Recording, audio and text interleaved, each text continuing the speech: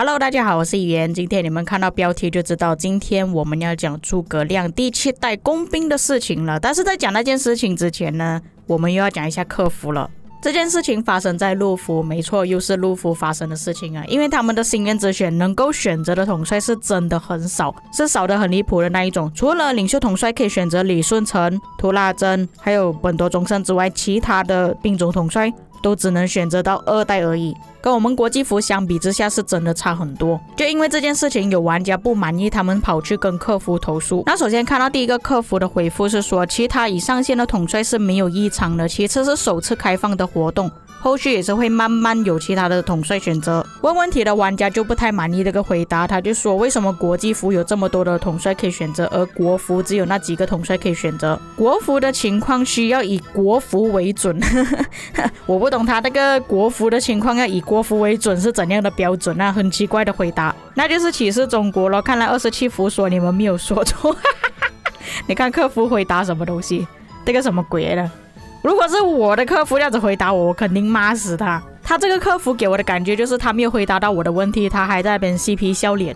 他妈的，我就去问你问题，你这样子嬉皮笑脸的回答我，要你这个客服干嘛？问了等于没有问。接着另外一位玩家就去问了客服，我看到那个客服是一样的头像啊，有可能里面回答的人不一样而已。那他这里的回答是久等了，目前核实到的工程统帅存在问题，下一次领袖的时候我们会补开一次领袖的心愿之选。到时候会有八部，而其他已上线的统帅是没有异常的。什么意思呢？也就是说，国服也就是陆服是真的只有到第二代统帅而已，要等到后面他们才会陆续开放。只是这一次因为工程统帅出现问题，所以才没有上八部而已。那原本官方这样子的回答是已经可以确定了，他们是真的只有到第二代统帅而已，领袖统帅是稍微多一点，已经算是有回答到问题了。然而还有一个玩家跑去问客服，那这个客服你们应该也认识吧？啊，就是那个给他忽悠走的的那位事件主角之一啊。我们今天看他又在边讲什么东西了？这里是骂关羽客服的一些对话啦，重点还在下面。关羽说：“晚上好，小白兄弟。”关羽从负责心愿之选的活动同事那里打探到，等到大转盘上工兵武将的时候，心愿之选里的统帅就更多了，从拉美西斯到诸葛亮，包括拉美西斯、居鲁士大帝、吉尔加梅省、巅峰布迪卡，还有诸葛亮。然后他后面还补一句：“预计是五月中上旬。”然后这位小白兄弟就说：“诸葛亮。”国服下次上诸葛亮了，这个消息还没有公布吧？你讲漏嘴啦！确实，官方还没有公布最新第七代工兵上线的时间。不过在之前上海的线下见面会的时候，官方是讲是在三月，但是因为那个时期刚好出现远程统帅，来不及出诸葛亮，就导致成诸葛亮必须要延期了。原本官方的说法是。十二月要出新的步兵统帅，然后工兵统帅要在三月出。又或者爆料的观众呢，有可能他自己听错，有可能他是讲三月要出远程统帅，他听成诸葛亮 出工兵统帅。所以现在已经进入四月了，三月都已经过去了，都已经出远程统帅，也就是说不可能在三月出工兵统帅，所以我们要预计时间了嘛。但是官方这里都讲漏嘴了，预计是五月中上旬。那等一下，我们才推测那个时间呢。那我们先看一下诸葛亮可能是什么统帅。那我们这里看到拉美西斯，还有居鲁士大帝、吉尔加梅森、布迪卡这几个统帅都是转盘统帅。那诸葛亮放在这里呢，也表示说有很大可能诸葛亮也是转盘统帅。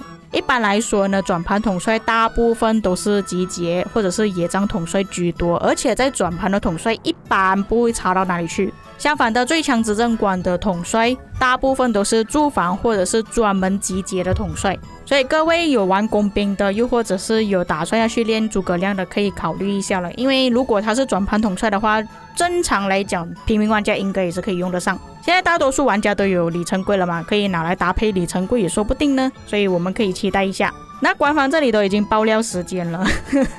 有点好笑。那他这里爆料时间通常是讲国服那边的时间呐。那我们来猜一下国际服的时间大概什么时候上线？久违的搬出我这张烂图片了啊！这个很久没有讲了，因为官方之前都爆料两次出现统帅的时间，所以这一次我们又来推测时间了。不过由于上一次的统帅顺序有点乱了，他是第六代的骑兵、步兵、工兵出完之后，直接到第七代的骑兵、步兵，回去第六代的领袖，才回来现在的第七代工兵。那我们来看一下时间吧。原本第六代的工兵是已经相隔九十八天才出第六代工兵。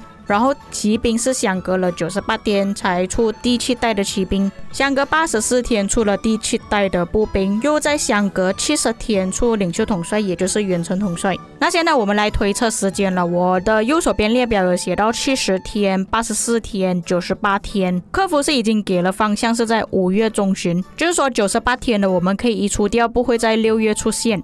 现在我们要开始推测五月有什么活动了。一般来说，新的统帅出现时间呢，就是在有活动的时候出现。五月的话，就是有母亲节，并且在五月中或者是之前呢，通常都会出现一个活动。那有时候是家庭活动，有时候是母亲节活动。假设说官方要赶在四月的活动，我觉得已经是来不及了。一般来讲，四月活动是复活节活动。现在已经四月三号了，官方还没有爆料统帅的一些技能消息之类的，所以我觉得不太大可能是这个月，要等到下一个月。至于五月二十二号，我觉得有点太迟了，所以最大可能是在五月八号左右就会出现新的第七代工兵，也就是诸葛亮。再来，我们要想一下之后会出现什么活动了。四月我讲过可能会出现复活节活动嘛，那时候我们已经看到有头像框了。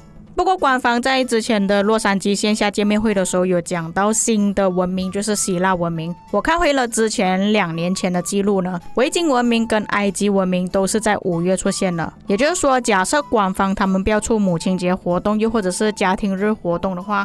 有很大可能被希腊文明的活动代替掉，所以大致上这两个月会出现的活动就只有这么多。假设说官方是想要复活节出的话，我觉得有点太快了，来不及，连爆料都来不及爆。等到五月的话，有可能是通过新的文明一起推出，但是如果新的文明推出的话，也就是说官方间接性要推出四个统帅。同时推出四个统帅，像我之前的影片有提到的，两个新文明的统帅一金一紫，还有两个第七代的工兵统帅，所以那个时期呢，要准备的镜头应该会特别多。不过正常来说，官方会错开时间才对啊。如果是一起推出的话，官方就会被骂了。同时间出这么多统帅，哪里来的集觉性？比方说，维京文明出现的时间点是二零二一年五月二十六日，那时候是出到第五代的统帅，他是四月跟七月，所以是已经错开了时间。埃及文明则是在五月三十日，二零二二年，刚好是到第六代统帅，他是四月跟六月推出，所以根据官方客服的说法，新的文明呢，要就是在五月之前推出，不然就是五月之后才推出，或者是五月尾。推出新文明统帅之后呢，也是需要一段时间才会出新的统帅。那比较多的玩家是担心工兵出现的时间会不会太迟了？之后第八代骑兵出现就会吊打新的第七代工兵了。我觉得不会这么快吧，因为官方他们都已经锁定了定位要出工程统帅了。就说要出现新的骑兵统帅之前呢，也是有一个缓和期啊，应该不会这么快。就算出了，你们也是要接受啊。我们骑兵玩家也不是这样子，骑兵下一次就是步兵哎，你工兵还有机会卡着一个领袖或者是工。成统帅才等到新的骑兵，我们骑兵没有的选择，下一次就肯定是步兵了。步兵玩家也不是这样子，步兵玩家下一次就是工兵了。你们工兵已经算是很好了，好不好？